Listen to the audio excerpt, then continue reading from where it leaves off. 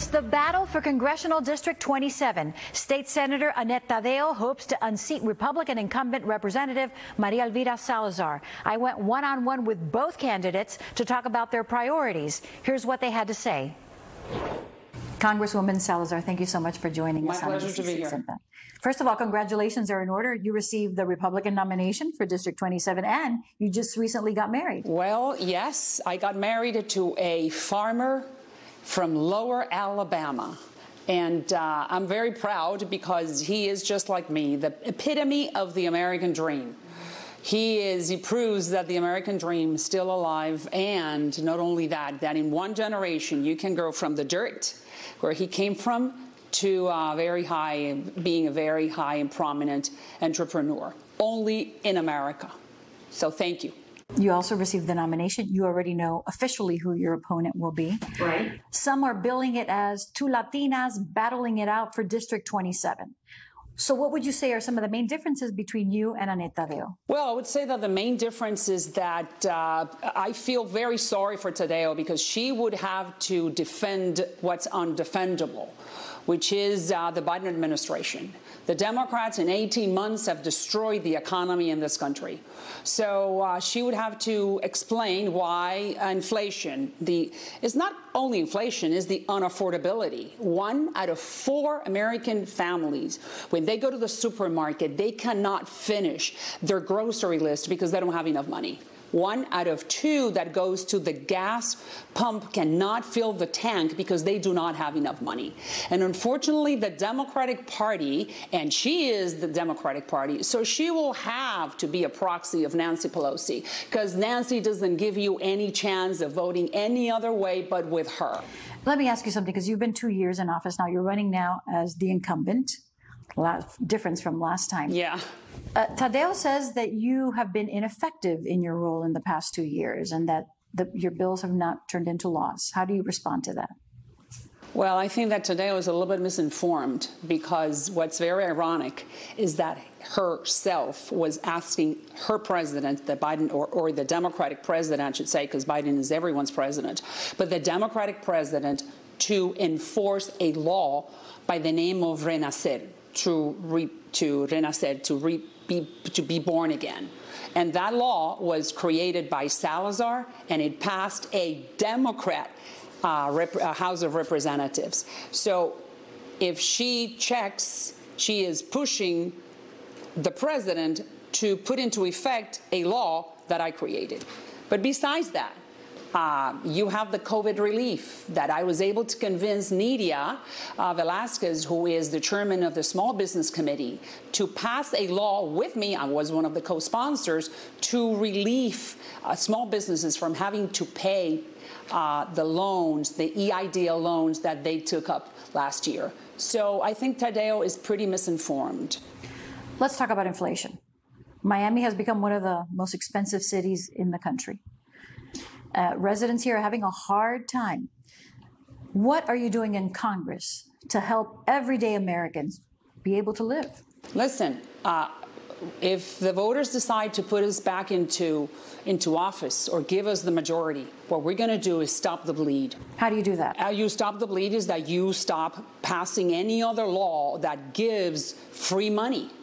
The Democrats in the last 19 months, and I have been there, have passed five laws giving money away in a time when what you need to do is you need to, to stop the, the spending. We're talking about $1.9 trillion for COVID, another uh, 1.2 for infrastructure. I'm not saying that there are merits in those needs. We do need to fix the infrastructure, but this is not the time to do this. We, we had three years ago we had the best economic scenario that you could have had in the history of this of this country. Uh, but elections have consequences. Would you not blame any of this on COVID? Oh, I would no, not at all. Because in uh, in January of 2021, when we swore in, the first bill that was put on the floor was 1.9 trillion dollars. The Trump administration had spent already around three or four trillion during the Trump time to do away and to help and redress some of the COVID consequences. But enough. You are running in a district that has really gone back and forth from. Democrats to Republicans to Democrats. Why do you think that it should stay Republican and they should vote once again for Maria Elvira Salazar? Oh, well, because I'm not a socialist. Because I am pro American and I vote whatever is good for my district, whether it's the environmental. You know, I have one of the biggest endorsements of one of the most important environmentalist groups in this country.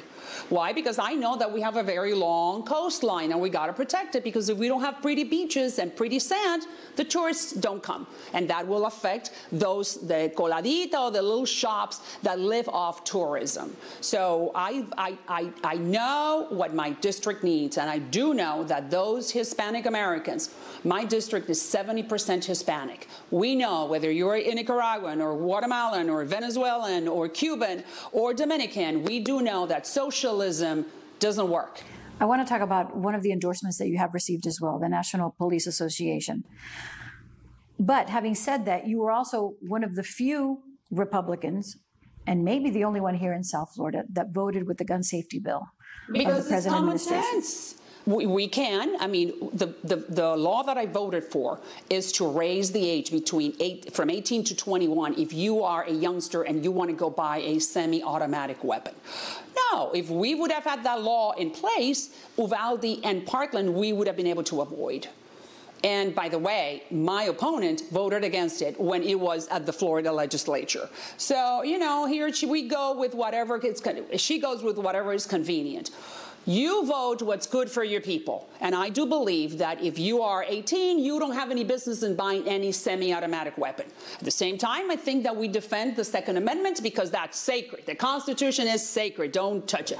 Would you stop there? If they continue with the restrictions and regulations, would you vote for that? Let's see what comes up, but I'm always open to protect the Second Amendment right because remember, we the Cubans and the, my parents and the Venezuelans, we know that the Constitution guarantees that you're going to have weapons or arms to defend yourself against the government. On the search at Mar-a-Lago, Yes. there have been reports that indicate that perhaps there were some um, documents that were seized that had some nuclear information on other countries. You have compared what happened at Mar-a-Lago to Cuba and Nicaragua. Do you still stand by that? The DOJ needs to prove to all of us that what they did was justified. Period. Because the Constitution has very clear guidelines as to how, how do you proceed when you are going to raid a private home of a private citizen. Having said that, I do believe that it was it was um, an exaggeration.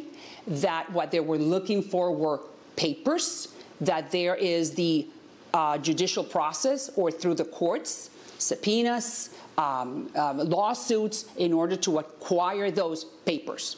I do believe that this type of raids you do when you're looking for arms or hostages or drugs.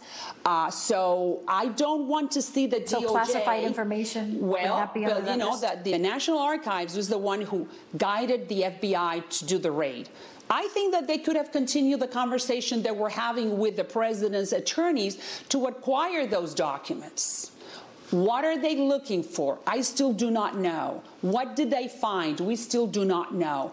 I do believe that there is another incident with another political, um, uh, another presidential contender who also the FBI claimed that she kept classified information, and they never did that to her.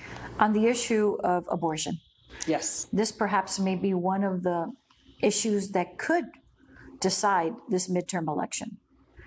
Do you believe that the Supreme Court of the United States made the right decision? I think the Supreme Court did the right decision. You send that abortion decision or, or you send the abortion laws back to the states and have the states decide through their state legislatures. Then you'll have a California and a New York where they consider that late term abortion is correct. Then you have another Florida that may consider that that's not the way to go.